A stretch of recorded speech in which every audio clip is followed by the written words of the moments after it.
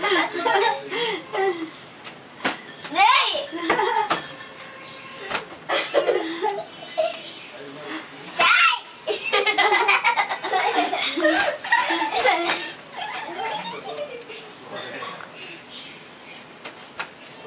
ha ha ha!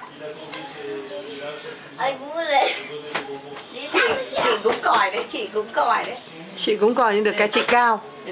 Được cái nào cái tuổi của chị như thế là chị cao.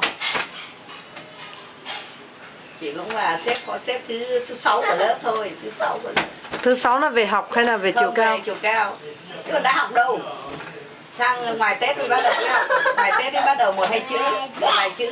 Chạy ra bên kia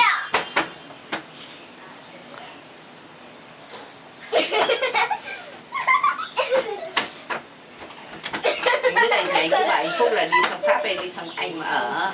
Thế nhưng mà anh Phúc cứ bảo Làm quen rồi. 30 năm rồi. Ở gần đấy nó nó như nhà mình rồi không rời đi được nữa muốn đi chứ còn thì kể ra thì Lại chưa- anh đi đâu là anh cứ cầm cái máy tính đi chứ nó cứ không cần phải cơ quan nhà nước gì hết vì công ty anh, anh ấy là chủ máy. mà. Anh làm trên máy mà anh làm chủ. Vâng.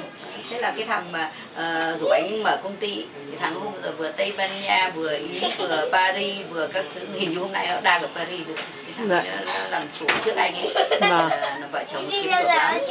nhưng luôn tôi đi mà toàn mua túi lui tông những mười nghìn đô chứng tỏ là kiếm quá được rồi được. mình lên mình mới anh ấy mới theo được có một năm Dạy Thế cứ từ từ rồi. chứ bây giờ nó anh ấy sống gần 30 năm thế xong lại vợ lại là người ở bên đấy. Thế làm sao mà có nghĩa là đi xác định đi thì vẫn đi được nhưng cơ mà nó sẽ không cảm thấy thoải mái vì khi nào tinh thần nó thoải mái mới đi được. Vừa mới cưới xong bảo đi thì không đi đâu như ngày xưa bác Đức bác ấy đi Pháp là bác ấy có động lực là bác Hạnh bác sẽ đi theo. Ờ, nó phải thế. Nhưng mà đây bà ở lại không muốn ở lại. Thì nó sang đấy cảm thấy nó đủ rồi. Cứ chưa đi thì thấy háo hức chưa đi rồi là biết là đủ rồi. vâng.